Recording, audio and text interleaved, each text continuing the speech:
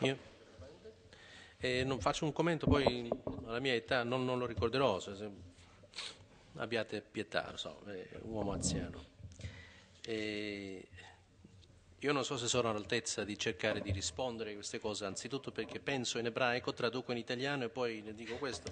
Quindi per non fa- creare questa grande fatica in questa classe dirò due o tre mh, frasi cioè, velocemente che saranno i miei commenti su, su questo, anche se non, non, non, scendo troppo in profondità, che richiedono queste, queste osservazioni tue, sue. E in ebraico non esiste, ecco, vede, in ebraico non c'è tuo, cioè suo e tuo, è una cosa che, che non esiste ma come in inglese, quindi devo ricordarmi sempre di queste cose. Lei ha detto che, eh, a, a proposito, ci sono tre, quello che, no, che, ho dimenticato di menzionare nella mio, mio, eh, mia introduzione, che oggi come oggi ci sono tre dialoghi che esistono tra il mondo ebraico e la Chiesa cattolica. Il primo dialogo è quello cosiddetto religioso. Noi abbiamo discusso che proprio dialogo religioso non lo è, ma sono degli incontri tra cardinali e rabbini del rabbinato, eh, in, eh, ufficio del rabbinato eh, principale in Israele, che ormai è entrato nel suo quinto, nel suo quinto anno e discutono i valori comuni tipo la sacralità, la sacralità della vita, la sacralità della famiglia, questioni morali e così via. Quindi un livello tra i rabbini con vari cardinali tipo cardinale Mechia, cardinale Cotier, cardinale Casper ed altri. Il secondo dialogo che si sta svolgendo in questo mondo ormai da, da qualche anno è tra stesso, cioè l'ufficio del cardinale Casper, che è responsabile dei rapporti eh, eh, religiosi con l'ebraismo e anche il eh, capo del dicastero diciamo, dell'unità della Chiesa, presidente, con, il, con le organizzazioni ebraiche mondiali, tipo American Jewish Congress o B'nai Brit o, o World Jewish Congress e così via.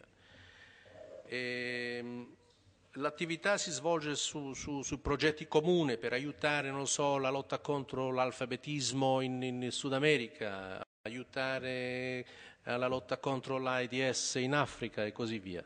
E il terzo dialogo tra, esiste ormai da 13 anni, abbiamo parlato della Bar Mitzvah, tra i due segretari di Stati, diciamo così, il Vaticano e il governo israeliano. Quindi io, essendo il quarto ambasciatore di Israele presso la Santa Sede, non mi occupo di questo dialogo interreligioso né eh, quello istituzionalizzato, cioè organizzazioni ebraiche nel mondo e, e il Vaticano. Perciò quello che dice lei forse è, è, è ragionevole, lei ha ragione, forse sa meglio di me, però io non scendo mai in, in, questa, in questa piazza. Cioè cercare di pensare che quali sono le ragioni, quali sono i pensieri veri dietro una mossa politica del Vaticano, sì o no. Io aggiudico dai, dai fatti. No? È, è, difficile per me seguire questi correnti uh, quel, quello che c'è nella base, diciamo, nella mente prima di, di, di, fare queste decisioni. Quindi, per forza, io a me piacerebbe, e qui forse dirò una cosa che, che sarà una sorpresa per lei. Faccio un appello, ho già parlato con alcuni nella Chiesa per amalgamare questi tre dialoghi. Io che, penso che la Chiesa approfitta, sta approfittando di queste, di queste tre dimensioni diverse. Parlano con gli ebrei qua, l'istituzione, cioè i rabbini, e poi lo Stato di Israele. Quindi settoriando così, eh, eh, privatizzando diciamo, questa, questo dialogo che dovrebbe trascorrere tra, tra, il mondo ebraico rappresentato da Israele in questo caso e il mondo cattolico rappresentato dal Vaticano. Quindi è una difficoltà, però questo, dove, dove ho visto questa necessità? Di, di, di, di amalgamare, di, mettere tutti sotto un, un, un tetto, diciamo, uno, unico.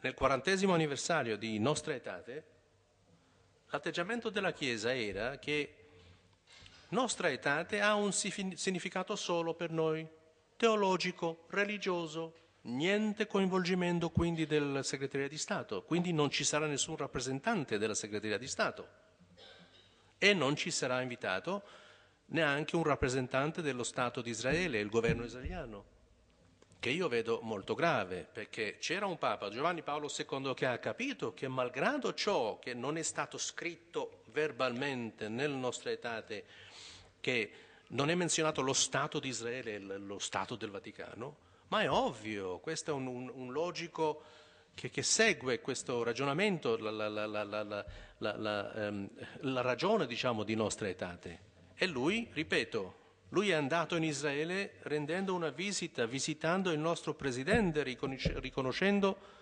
la nostra sovranità politica in Israele. E lui ha detto che il popolo ebraico, lo Stato di Israele appartiene al popolo ebraico, quindi un riconoscimento pieno, doc. Quindi questo va, va, va apprezzato. Lei ha ragione, ci sono delle cose, ci sono delle sfumature, ci sono delle correnti, ci sono antisemismo, ci sono, sono tutti in questo mare chiamato il mare del, del, del, del cattolicesimo e io non sono capace, eh, per, non, non, solo per comodità, ma anche per praticità, scelgo di rappresentare questo, questo vincolo molto, molto stretto chiamato la politica.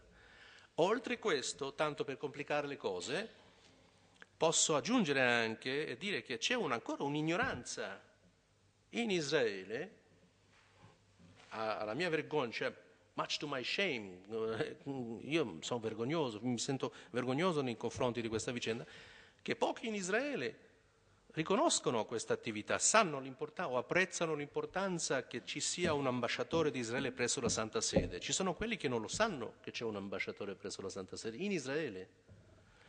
E tra quelli che sapranno diranno ma perché mandare un ambasciatore presso la Santa Sede? Già c'è un ambasciatore a Roma un ambasciatore bilaterale per lo Stato israeliano, quindi un'ignoranza totale. E lei chiede già una sofisticazione, già pff, seguire la Chiesa e dire ma la Chiesa sta facendo questo. Non c'è nessuno che fa queste analisi. Purtroppo. No, dico purtroppo, eh, eh, chi lo sta convincendo, cercando di convincere. Allora, e questa è una realtà che lascia molto, ma molto a desiderare, Perciò so che essendo solo il quarto ambasciatore è l'inizio dell'inizio, perché facciamo i nostri primi passi. Primi passi, poi 13 anni sono niente nei confronti, a paragone, diciamo, tutta questa lunga storia di quasi 2000 anni. Quindi pazienza, non solo per voi, anche per noi, chiedo apertamente. Lei dice che, che manca un, un, leader della Chiesa che, che sappia queste cose qua. Sì, e, e, e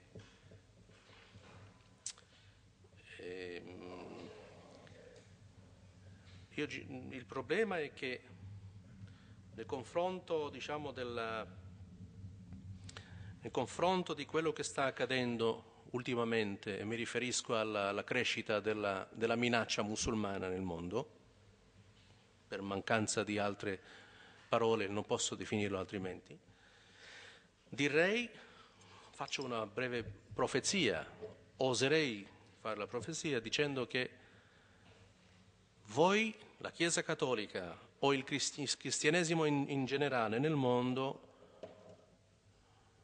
vi confischeranno, non lo so, esiste questa parola confiscare?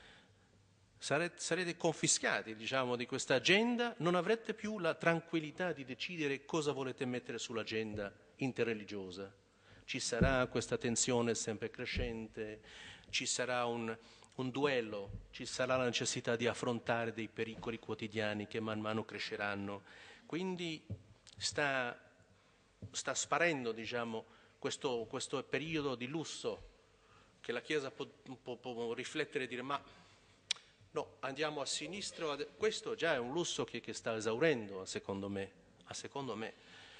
E quindi noi, volendo o meno, noi ebrei, saremmo trascinati purtroppo in questa vicenda perché quello che, che, dico io, adesso dico, metto questa bomba qua alla fine del mio intervento, anche se volendo si può cominciare veramente un, un, un intervento molto lungo, inesaurabile, io credo nello scontro della civiltà.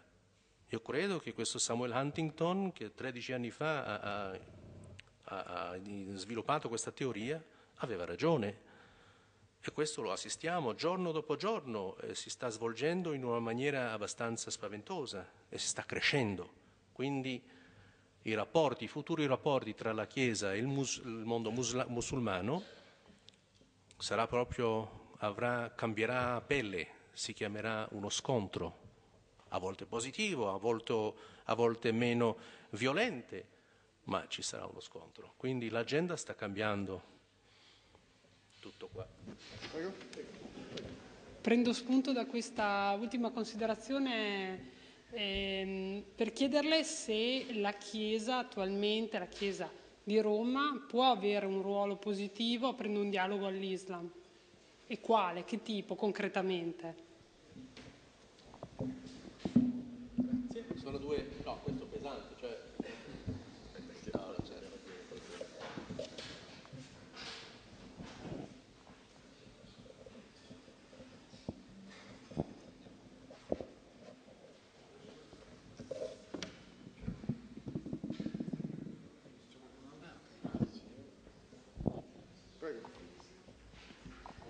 Eh, due o tre eh, domande molto semplici, brevi.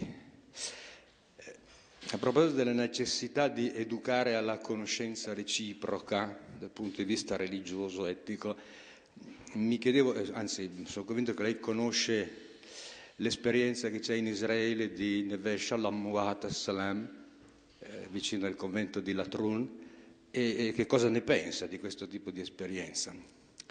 E poi, eh, saltando dall'ambasciatore eh, presso la Santa Sede e buttandola in politica, che cosa ne pensa di quel concetto per quanto riguarda il problema israelo-palestinese di equivicinanza che il ministro degli esteri italiano ha ripetutamente espresso, venendo poi deriso anche per questo, secondo me ingiustamente. Io personalmente condivido questo concetto che è stato espresso sia per quanto riguarda i rapporti eh, con il Libano, la vicenda recente e drammatica del Libano, sia per quanto riguarda i rapporti tra Israele e i palestinesi. E poi da ultimo, una cosina magari un po' futile, ci sono molte ragazze qui, quando eh, in Israele ci sarà oltre al bar mitzvah anche il bat mitzvah. In Italia c'è già da qualche parte, a Milano per esempio è venuta anche una rabbina, è venuta da fuori e insomma, ha, ha introdotto nell'ebraismo ortodosso italiano degli elementi eh, così un po' dirompenti da un certo punto di vista. Io mi fermo qua, grazie.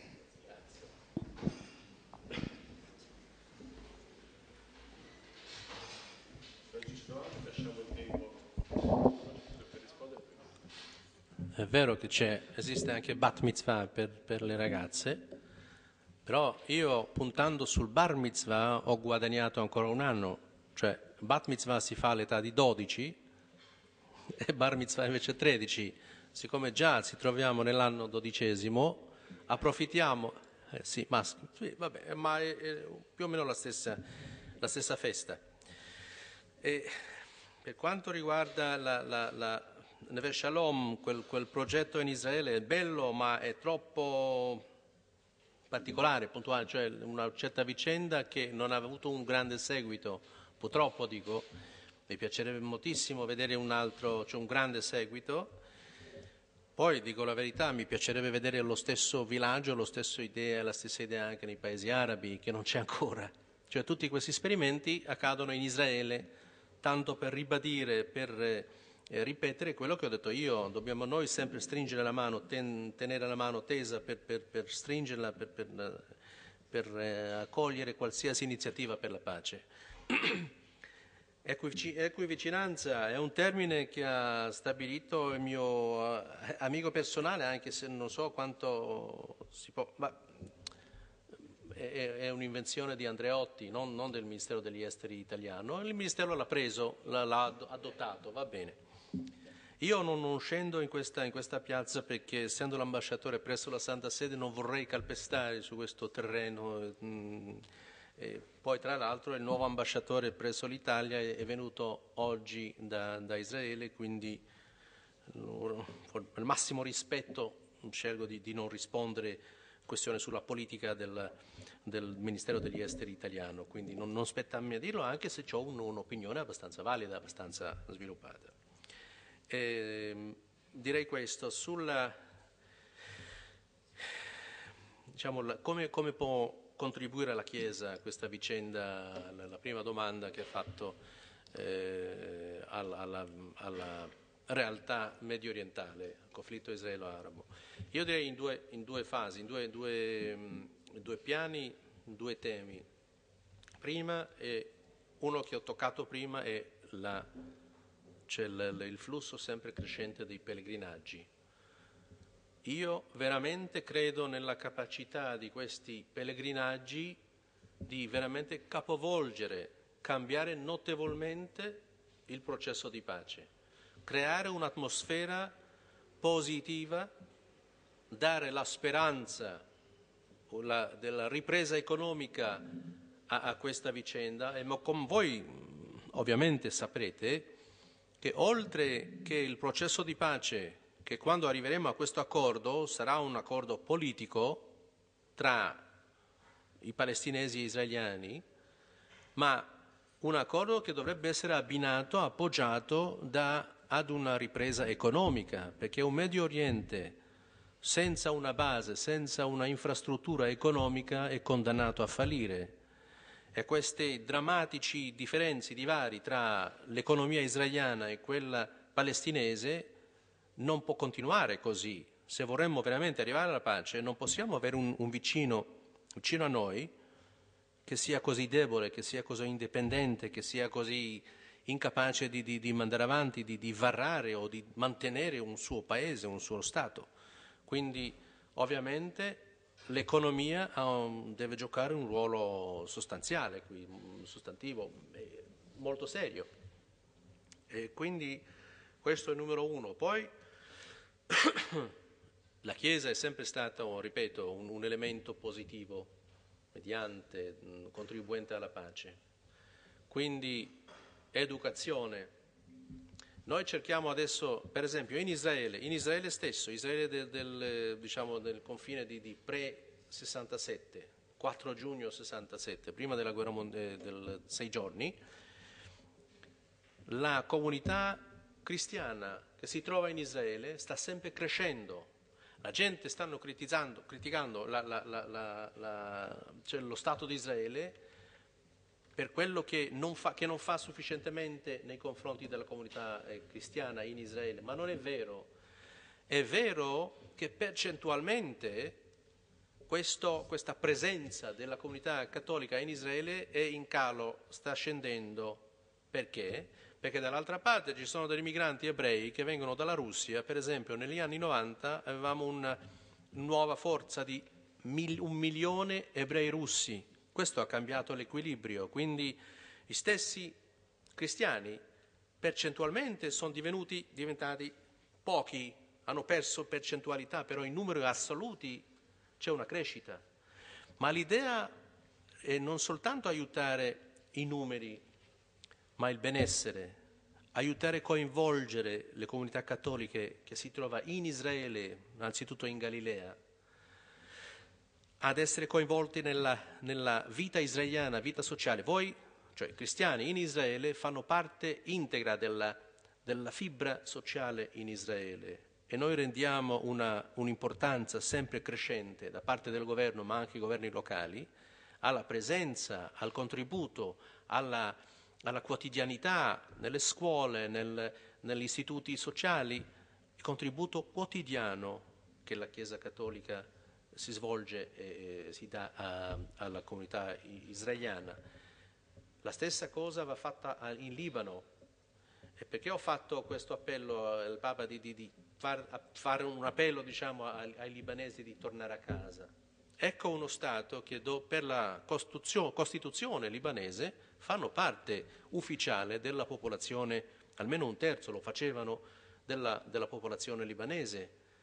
Ed è stato sempre un ponte tra i vari musulmani, drusi e, e sunniti sciiti, hanno aiutato molto adesso questo, durante l'ultimo conflitto in Libano, i, i, i, cristiani hanno aiutato sia sunniti che, che sciiti che drusi. Quindi educazione, ospitalità, e, e, e, atteggiamento moderato, un aiuto notevole. Oltre a questo del dialogo tra, cioè, interreligioso, io sono un po', un po', cinico, però questo richiede un altro, un altro discorso, un altro convegno proprio. Vi ringrazio ancora.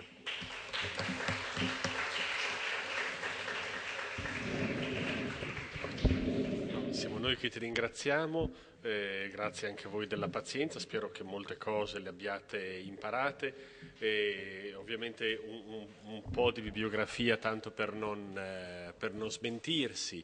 E, probabilmente avrete già avuto modo di sentirvi citare un, un grosso volume che si intitola Vittime. Eh, che è la migliore storia del conflitto arabo-israeliano che sia disponibile in italiano, un libro molto lungo che però eh, rappresenta senz'altro un bel contributo di lettura.